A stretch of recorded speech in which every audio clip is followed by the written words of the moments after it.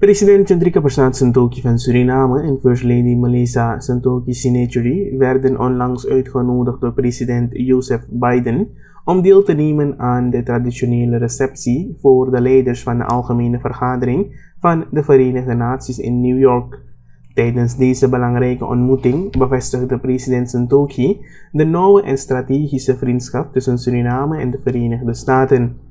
In een hartelijke en constructieve sfeer bespraken president Santokhi en president Biden de voortdurende samenwerking tussen beide landen op verschillende gebieden. De hechte betrekkingen tussen Suriname en de Verenigde Staten werden opnieuw benadrukt met een sterke focus op defensie, nationale veiligheid en regionale stabiliteit. Een opvallend hoogtepunt van de bijeenkomst was de hernieuwde toewijding van beide leiders aan democratische principes, de rechtsstaat en de bescherming van mensenrechten. President Santokhi benadrukte het belang van deze gedeelde waarden in de bilaterale betrekkingen tussen Suriname en de Verenigde Staten.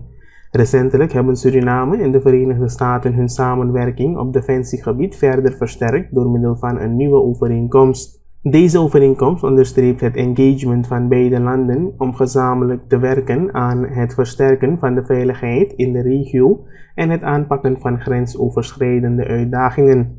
President Santokhi sprak zijn waardering uit voor de steun en samenwerking van de Verenigde Staten en benadrukte dat deze hechte banden zullen blijven bijdragen aan vrede, stabiliteit en welvaart, zowel in Suriname als in de bredere regio.